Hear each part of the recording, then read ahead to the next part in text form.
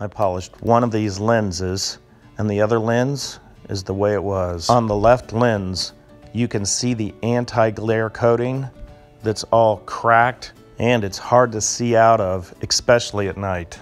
In this video, I'll go through the steps of polishing out these lenses.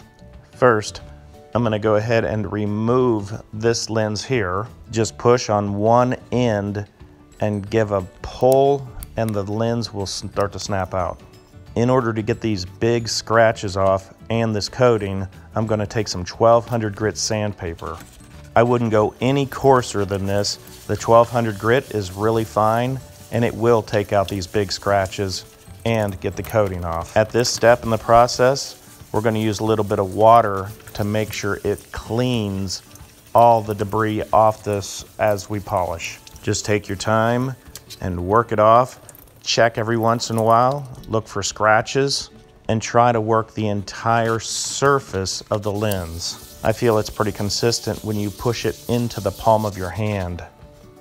Now, when we dry it all off, you're gonna see that the scratches are a lot less, but there's a little bit of a haze over the lens.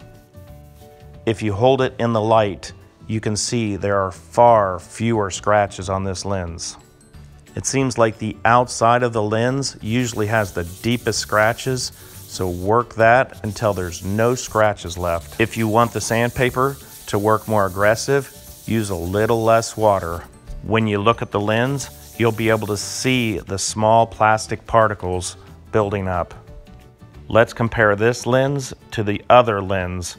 You can see it's a lot cleaner, but it still has that haze over it. Toothpaste has a very fine abrasive and you can use that to start to get this haze off. As you work with the toothpaste, you'll be able to feel this fine abrasion and you can start to see it's a little less cloudy. I do see some small scratches on the back, so I'm gonna take the 1200 grit sandpaper and start to work those scratches out. Then, back with the toothpaste. Just keep some water on the toothpaste to keep everything workable. If you want the toothpaste to work a little more aggressive, use a little less water. Now that the lens is dry, I'm gonna take some of this 3000 grit sandpaper and I'm just gonna rub the lens on this. Just keep the pressure even and consistent and you'll see those little scratches start to disappear.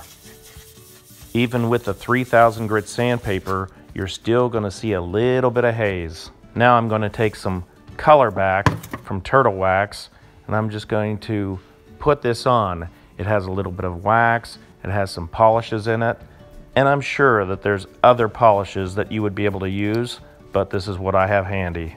So I just keep working this polish into the lens and then take a cotton cloth and start to polish it off.